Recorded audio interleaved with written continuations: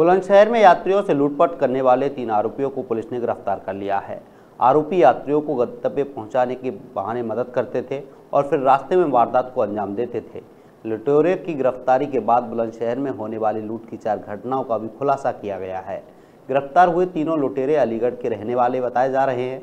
तीनों आरोपी फरहान मुजमिल और इमरान पर तेरह तेरह मुकदमे पहले से दर्ज हैं।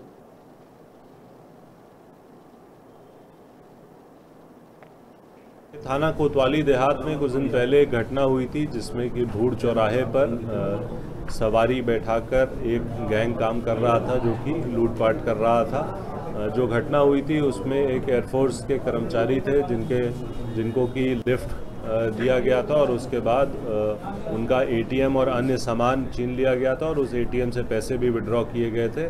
आज इस गैंग का भांडाफोड़ किया गया है जिसमें कि तीन सदस्य गिरफ़्तार किए गए